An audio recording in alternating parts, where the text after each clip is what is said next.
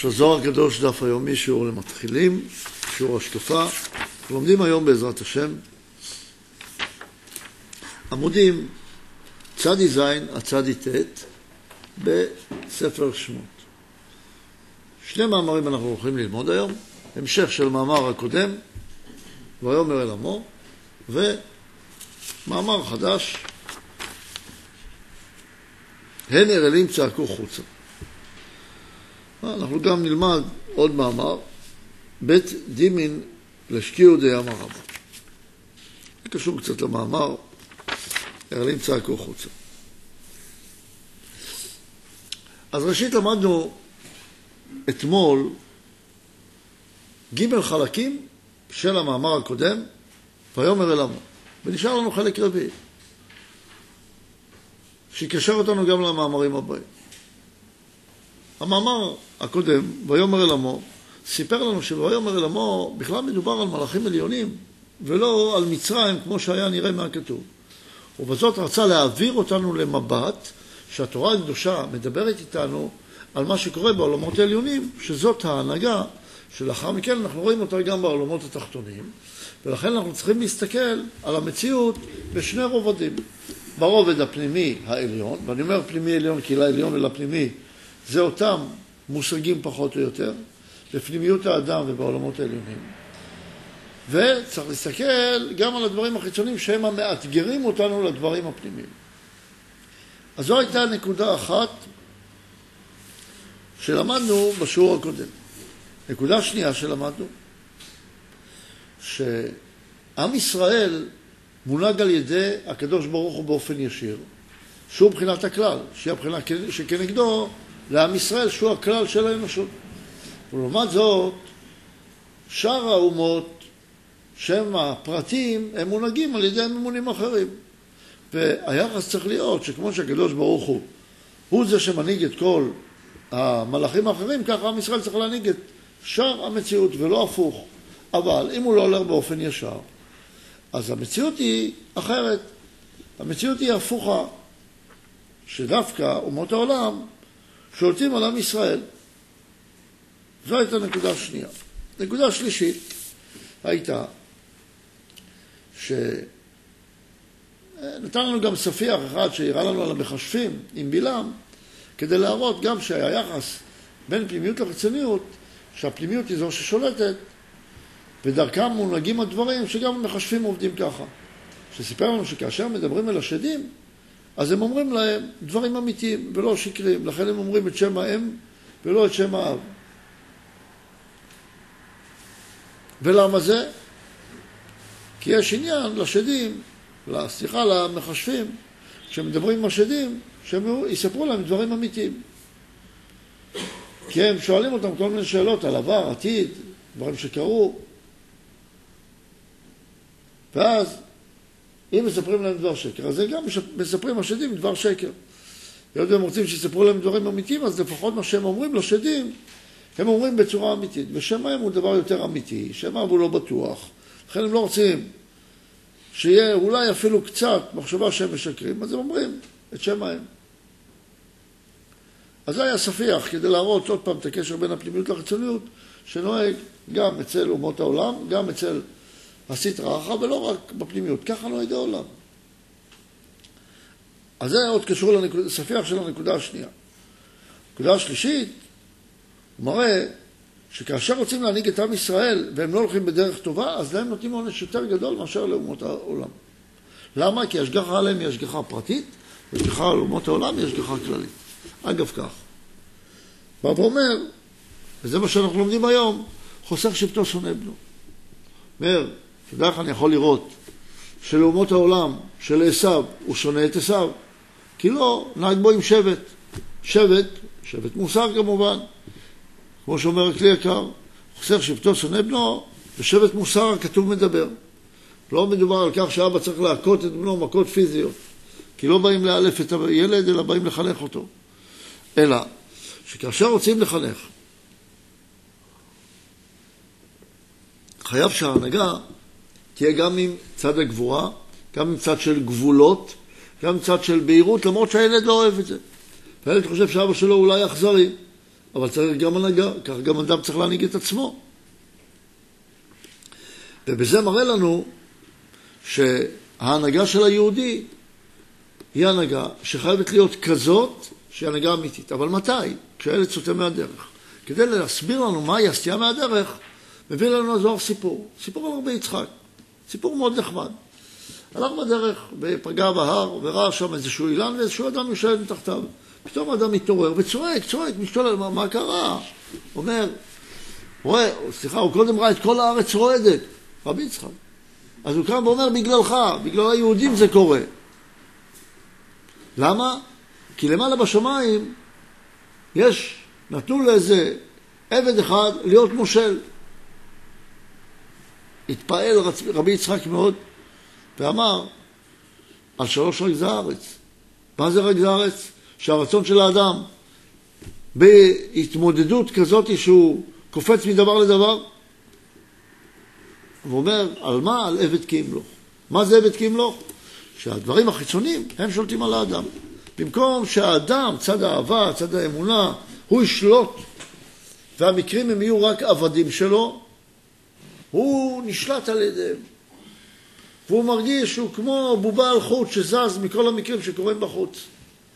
ועל זה נקרא עבד קימלוך. בגלל זה הארץ שלך רועשת. אתה שואל למה אני כל כך נרעש? למה אני כל כך עצבני? למה אני כל כך מתוסכל? בגלל שאתה נותן לדברים החיצוניים לשלוט עליך. זה נקרא עבד כי. רבי יצחק נותן לנו את התובנה הזאת בזוהר, שהיא תובנה חשובה. צריכה לאתגר אותנו פנימה. אז מה אני צריך לעשות? מה, להיות תמיד שמח? אומר לו.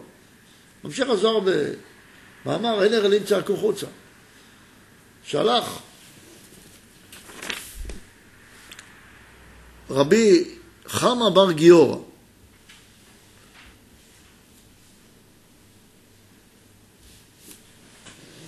אז אמר, כשהניח הקדוש ברוך הוא את ישראל תחת ממשלת האומות, ישב וגר ובכה.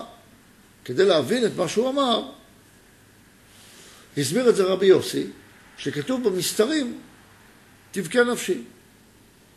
מסביר לנו את זה הזוהר, על ידי מפגש בין רבי יהודה לרבי אלעזר. רבי יהודה הלך לרבי אלעזר, ראה אותו יושב, ידיו על פניו ובוכה. שואל אותו, למה אתה בוכה? מה קרה? מה אתה עצוב כל כך? אומר, אני לא אהיה עצוב.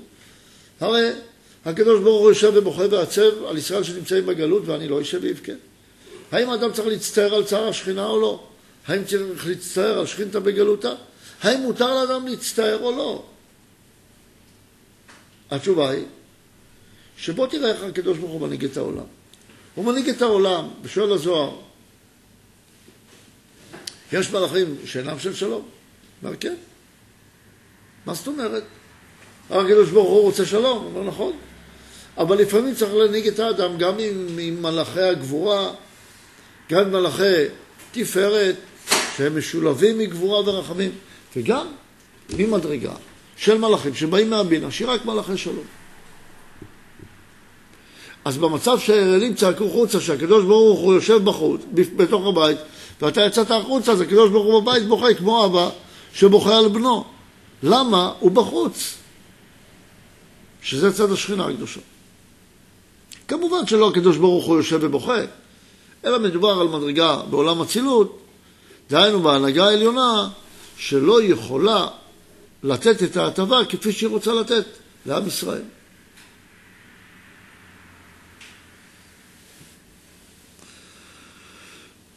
על זה אומר בית דימין לשקיעו דים הרבה, בית דמעות ששוקעות ונופלות לים הגדול. אומר, מה זה המאמר הזה? הוא בא להסביר מה זה הצער שיש לקדוש ברוך הוא, ובעקבות זה לאדם אמיתי שרוצה להידבק בקדוש ברוך הוא, כתוצאה מכך שלא הולכים בדרך אמת. יש בית דמעות מהעיניים שיורדות. מה זה בכי? מה זה דמעות מהעיניים? דמעות אמיתיות, לא דמעות של חתולה. דמעות אמיתיות.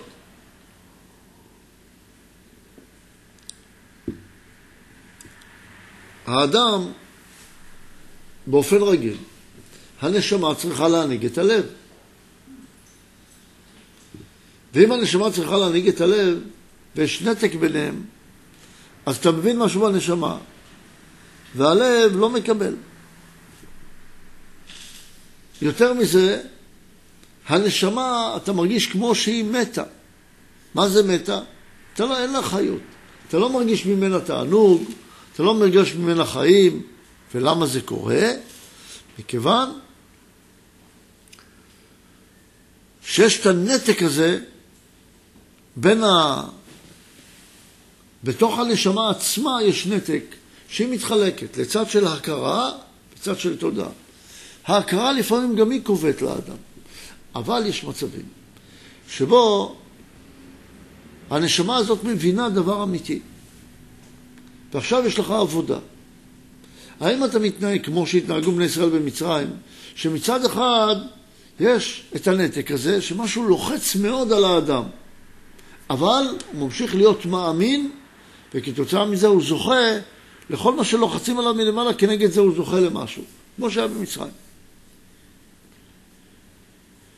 אבל אם לא, אז אתה מגיע לאיזושהי תהייה מאוד גדולה וזעזוע מאוד גדול בתוכך, ואתה לא יודע מה קורה איתך. יש זמנים מיוחדים שהם כמו שבתות, תפילות, מועדים, לא כתב פה, אבל גם מקומות מיוחדים. כמו בית המקדש, ירושלים, ארץ ישראל, שבהם אתה זוכה להשיג תובנות חדשות, כמו בסביבה של לימוד, בסביבה של תורה.